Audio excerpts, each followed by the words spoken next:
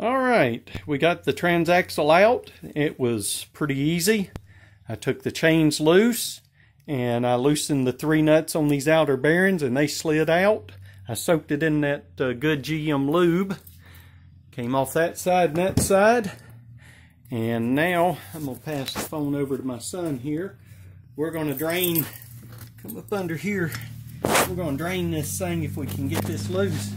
And I got a feeling this is going to be pretty oily. I mean, uh, oily, milky. Oh, it's not bad. It's going to be milky. And the reason I suspect that is this thing set outside. So, let's see what we got here.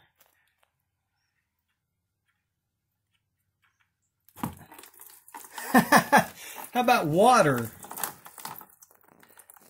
Oh my. Oh, and that stinks. Oh, look at that.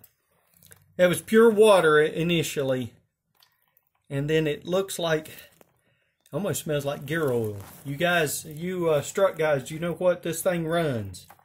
The uh, Sears runs a non-detergent 30 weight. That is a uh, magnetic end on that, I believe. And it's got all kind of crud on it. So, this thing is going to definitely need a good, good flushing.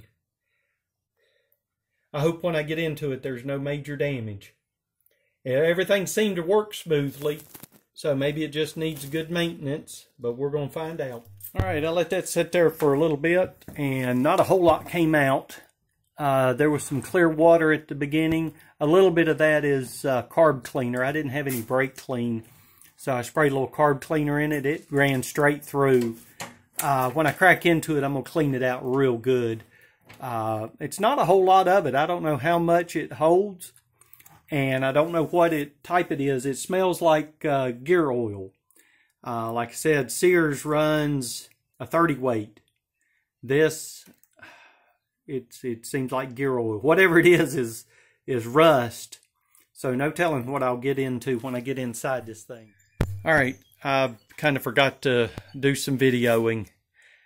I got it cracked open, and other than yeah, rusty gear oil, some little bit of metal shavings in there, nothing bad. Uh, I don't see anything major. Everything looks pretty good, I think. Uh, you can see the effects of that thing sitting out in the weather.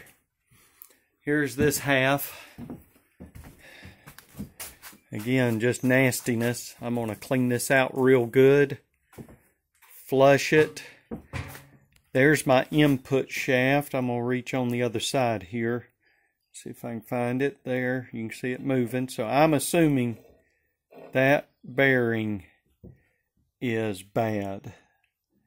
And I'm going to inspect all inspect all of the bearings and all of the points to it springs. Somebody mentioned detent springs. I'm going to go through all this, replace everything that's even partially suspect that I can get my hands on anyway. So this is uh, what it looks like inside of a transaxle that's set out in the weather.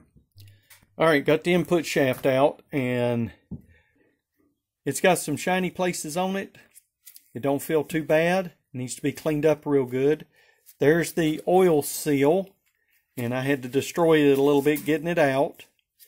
Um, hopefully I can match that up at my part store or tractor supply or somewhere. Uh, three quarter inch shaft, so it's three quarters inner diameter and an inch and five eighths outer diameter. Uh, you could tell that it was oblong. You could tell where that shaft was wearing on it. Over here in the case, I got to get some brake clean. I'm out. But you can see right there, one of the balls is missing.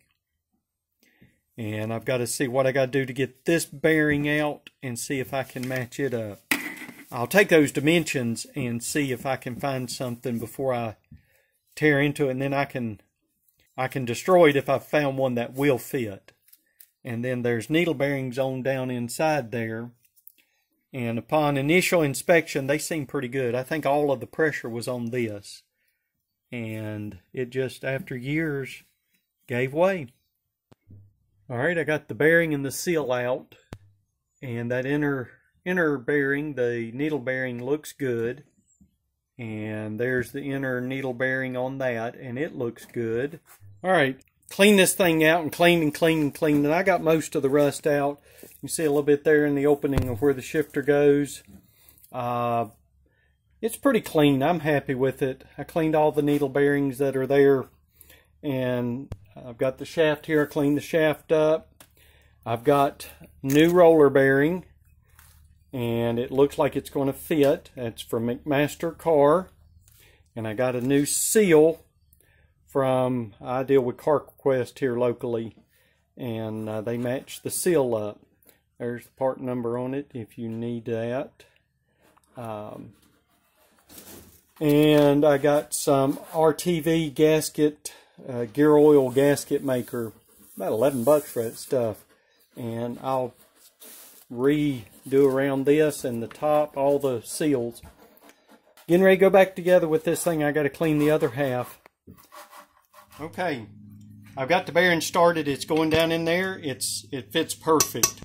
And what I'm doing is just tapping it very slightly as I move the punch around.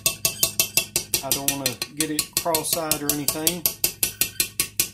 And we'll get it down to where it seats. Want to be careful here. It's a good fit. I mean, it's perfect. And you heard the sound change and I know it's seated. And next we'll do the seal. And again, what I want to do is just test this. I got the shaft in here. I was testing it here. And it's going to be, oh, perfect, perfect, perfect. So what I want to do is, again, uh, square this up as best I can on top of it and just gently go around. Yeah, don't want to do that.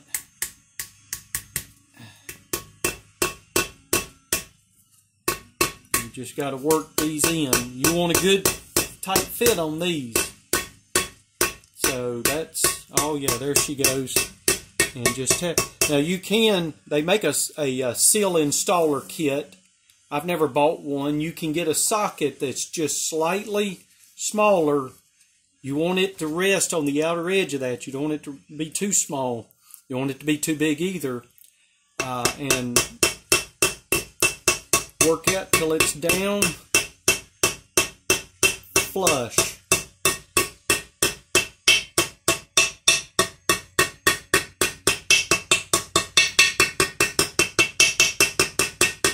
That outer seal cost me, I think it was $10. The roller bearing through McMaster-Carr was shipping. Shipping was more than the bearing was. The bearing was 7.92. I think shipping was 8 something and then some tax. Uh, but I'm going to have a non-wobbling input shaft. All right, here's where I am on this. I'm test fitting this back down and I figured this was going to be a little of a challenge to get it to go back together. And I went back and read the uh, manual on the transaxle, and what they recommended is when you get it wiggle back down into place, it'd be about a half inch up.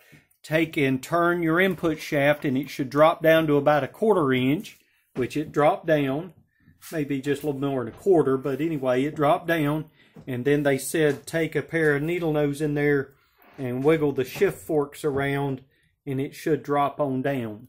So I'm going to try that. Uh, I, I can't do that, uh, hold the camera and do that. So I'm going to try that and see if it is. I'm going to take it back off and hope I can do it a second time. And I'm going to put that, R, uh, that RTV, that uh, sealant on there.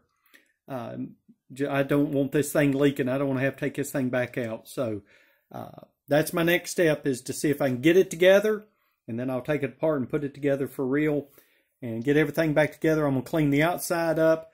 I've debated whether to paint this thing or not, and I probably am not. We'll see. All right, so that's what I tried. And you can see it is all the way together. And it would be real tempting to uh, just go ahead and bolt this thing back. The gasket looked flawless. There was no damage in it at all. Uh, but I think I'm going to go ahead and put that sealant on it. I think I may leave the gasket in place and put a thin layer. I was talking to the parts man uh, at the parts store about doing that, and he said that's what he would do. So I'm going to try that. All right, this is what uh, I bought to uh, do this thing. It's the gear oil, the gasket maker. So I did a test run. It went well, so you know how it goes. I will probably make a mess of this trying to uh, do it live. I got a pretty small opening here. I may have to make it bigger. Yeah, I'm going to have to make it bigger. That's too, just too small. Let's go the next size up. It looks a little better. let's start here and just I want a small bead to go around. And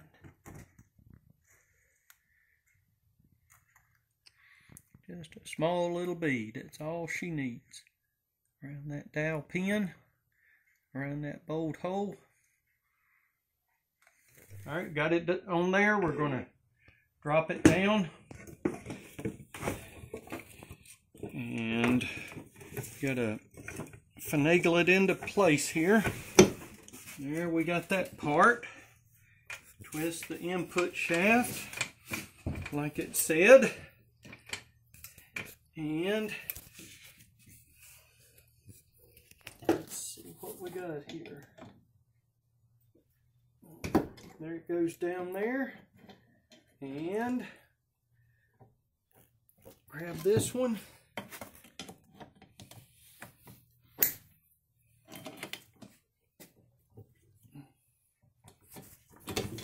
And there she goes. And she's back together. So now I'll take the bolts. The instructions said run them down finger tight. Wait an hour and then torque them. All right, we're making progress. We got the two halves back together. Got the shifter cleaned up. Got it back on there. And um, what I want to do next, I, I kind of wish I'd have held off on the shifter and run a little bit more uh, diesel fuel or brake cleaner. The, the second half, the bottom half, I didn't get quite as clean as the top. Uh, I, got it pretty clean, but not quite as clean. So I thought about running something through it one more time uh, before uh, I put the gear oil in it. Anyway, this video went longer than I intended. Uh, probably repeated myself a lot like I usually do. So this is the transaxle. No more wobbly input shaft. Uh, it's nice and snug. Feels good. And uh, everything looks good. I'll um, hopefully be ready to set this thing back in the tractor before too long.